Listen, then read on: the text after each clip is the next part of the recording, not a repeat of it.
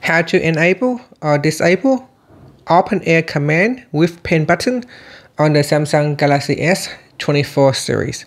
First tap on the home button to go back to the home screen.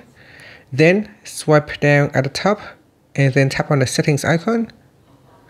In the settings page, scroll down and in here, tap on advanced features. Next we go down and tap on S Pen. In the S Pen setting page, tap on air command. Then we scroll down and tap on open air command with pen button. So tap on the toggle button to turn this on or tap on the toggle button to switch it off.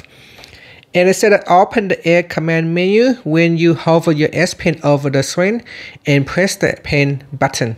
So here if I hover the screen and press on the pen button, this will allow me to bring up the menu or to hide it. If I switch this off, then when I press on the button, it just shows the plus sign and it does not open up the air command shortcut menu. And that's it. So I'm going to switch that on and then tap on the home button to go back to the home screen. And that's it. Thank you for watching this video. Please like and subscribe to my channel for more videos.